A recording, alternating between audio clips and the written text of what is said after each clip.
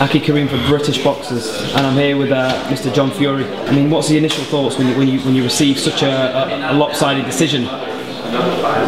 It's nothing we haven't had before. I've dealt, I've dealt with a lot worse in my life, you know, and at the end of the day, we're Furies, aren't we? We're used to all this. We get this. It's part of life for us. You know, fair and square don't come into our vocabulary at all. You know what I'm saying? We're always trapped like shit. We're always uh, done this. And you know what I want to say? All them people keep saying I bellyache. I've got a reason to frigging bellyache. Take the blinkers off and see what's happening to us all. You know, things was going right, wouldn't be belly aching, would we? You know, at the end of the day, always wanted to be fair and square. What's happened tonight? Good luck to Team Parker, the nice people. And we couldn't have lost the decision to any nicer people because I've always liked Joe Parker. He's a gentleman. His mother and father's lovely people. His team's gentlemen. We've interacted with them all week. We've had a great weekend. It's just that our own British people spoil stuff and they, they, they tarnish a good weekend. But listen, that's Britain. They don't like uh, certain people with the name Fury. That's including all of them. So I don't know what to say about it. I just don't know. With the judges themselves, I mean, the American judge scored it a draw, and American judges tend to favour aggression, whereas Hughie was counter-punching all night. Well, I can understand the Americans because they like somebody coming forward, throwing punches and trying, but the other two judges, Jesus Christ, when they come out with the 118, 110, I thought, well, that's somewhere near wow, we had it, you know what I'm saying? But when it went to the other man, you know, it was a close fight. You know, what I'm saying was we done enough to win it in our own backyard in Manchester, didn't we? Mm. You know, unless we might as well have been in uh, wherever. I think we've got more fair play now to Mongolia, to tell you the truth. Mm. But listen, we're Furies, aren't we? You know, we win things and we get them took off us. My sons had the same treatment. It's passed from my son to my nephew. Skullduggery. There's, there's talk of um, appeals, there's talk of all that sort of stuff. Listen, I mean, do you think you'd actually get, get down the road? Listen, How far down the road do you think you get with that? Let me tell you, you've heard of people saying when it's Tuesday, it's Tuesday, isn't it? Well, they've said it's Tuesday. We haven't got no power at all. We're dogs in the street trying to do a fair and square job. And we've upset some powers that be.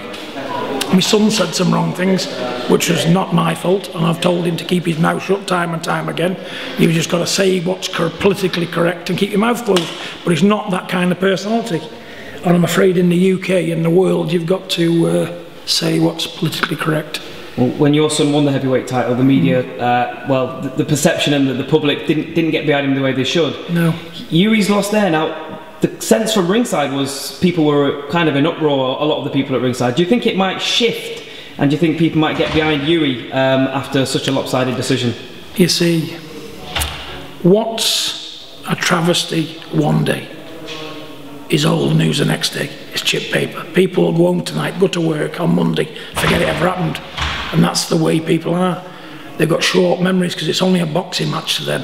And sometimes a bit of controversy, it brightens the night up. Mm. But it don't help the people who's put their life and soul into stuff like we have, you know what I'm saying? Mm. And you know how hard they've trained up there. Yeah. We've spent our life doing this. Yeah. You know, and these young kids have never had no young life. They've never integrated with kids their own age, They've been out, never know no drink, no drugs, no nothing. We've shielded them from that. So we wanted to get the pinnacle out of them, which they did. But when you do all that and you put that much effort in on your own people where you was bred and born just kick you straight in the nuts without even any consideration. I don't I don't see a future in it. I don't see a future in boxing for us. You know I really don't you know what I'm saying? And we're going to have a sit down with our world discuss where we're at with it all. You know it's evident now that we're not wanted in boxing. We're not wanted. We know in our own mind we, my son Tyson Fury, he is by far the lineal heavyweight champion of the world. He's not been beaten in the ring. They tried to destroy him outside the ring because they know he couldn't do it in the ring. He's a superior boxer, superior brain power, you know, and uh, maybe they thought he might have changed the way things is, and they wasn't happy about that. Young Hughie, 23 years old. What an effort. Mm. 23. Yeah. A lot of people still living with a mother and father at 23. I mean, the way, you the way you diffused the power puncher and yeah, counter well, shots, uppercuts. Listen, and he took some punches as well. He proved he had a chin to dance around like that for 12 rounds. Listen, you heard the same box clever. The art of boxing is to hit and not, to hit and not be hit. You've seen it firsthand, an excellent display. And what did he get? Kicked in the nuts in his own backyard. I've never seen the like of it.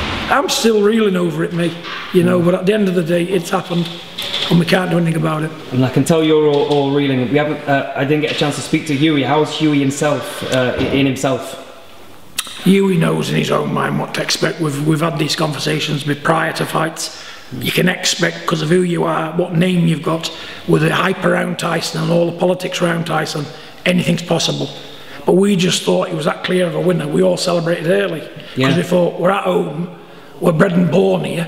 You know, surely to God they're going to see our way, even if it was a close fight. I don't know. I just ask you from the bottom of my heart, why? What, what have we done wrong to you all? Why, why are we discriminated against and treated ten times worse than anybody else on the globe? I'm not belly aching you, but the people's there.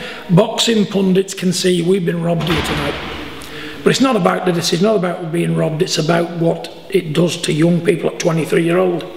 You know, he'll just he could just look up and say, you know what, Dad, it's too hard a work for what I'm getting out of it. I've tried my best. I'm going to do something else. You know, who knows? You might end up going down the wrong road. You just don't know because when somebody pours their life into something and it don't work out, and it's been took out their hands, not because they're not good enough. We can live with that. But it's the thought of uh, people making decisions for you when you know you're right. Mm. It's like you telling me something and you know it's 100% right, and I say, no, you're wrong. You're not going to feel so good, are you? Mm. Well, look, look at his cousin Tyson, my son. They mentally destroyed him. But I'll tell you what, he's got a good family unit around him. And I tell you, son, don't let boxing destroy your life. It's not worth it. We can move on and do something else. We're all family. It doesn't matter. You beat, they know what's happened. They've got to look in the mirror every day. They might be good at covering things up, disguising it, but deep down inside, they'll never ever forget Tyson Fury or his family. We've come out of nowhere. You know, four years ago, nobody was in boxing. Nobody was in boxing. I think Tyson was an amateur boxer. I done some boxing in the 80s. You know, I just done it because I liked it. I never trained, only when I wanted to train. I went to the gym when I felt like it. I never took it serious. But he loved it. It was in his DNA. He's come off 300 years of fighting people, and we proved it tonight. We're fighters, and we'll fight to the very last breath. But when you're outnumbered, outstrengthed, and you can't open your mouth, you're fighting a losing battle. And unfortunately, we, uh, we're losing the battle. And just one one final question. And I really do appreciate your time and your honest your honest Uh, words. Honestly, I'm being honest. And Hughie, you know, after a performance like that, it, you know, I hope he does carry on. I really do. He's young, young enough. But Can I say this though? If they're not allowed to be the best at what they do and not get the right credit and not get the right respect and the right kind of following and the right kind of backing, what's the point carrying on? You've heard the, you've heard the saying flogging a dead horse, haven't you? Mm-hmm. What's the point in doing that? Mm. We've done it. Tonight we're winners inside because Hughie He's done us all proud. So what Joseph Parker's team have won home with a belt, it's only a belt. But we know in our hearts we're the winners. And do you think that uh, now that Hughie's um, now that Hughie's putting a performance like that, he might become someone that other heavyweights want to avoid? Low, Listen, it's whether he's allowed to do this. At the moment, we're not being allowed, are we? Because we're being stopped, aren't we? We're being stopped. All our all our roads are being blocked because it's all political. It's never going to end. It's never going to change. Listen, we're going to have a sit down, me and my brother, close family, have a discuss where our future lies in boxing. We've done what we can do, but this tonight's a bit of a blow for me. For me, I'd, I'd just. I'd say call it a draw because I don't think you're going to do any good. We're not wanted in the sport. It's not because we're not good enough. It's not because we're not good enough. It's because we don't fit the bill and our faces don't fit. Anyway, enough said. Thanks a lot Thank for your time. you. I really appreciate it. Thank you and thank you for coming to support us. Thank you.